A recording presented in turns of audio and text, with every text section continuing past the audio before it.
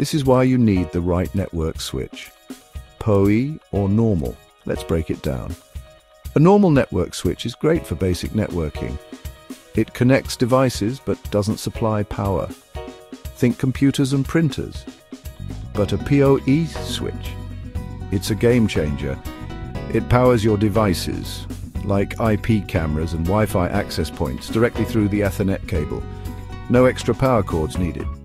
Now, about cost. A normal switch is cheaper. But a PoE switch, although pricier, offers dual functionality, data and power. Installation, a normal switch needs separate power sources. But PoE simplifies everything with fewer cables. Efficiency-wise, PoE takes the lead.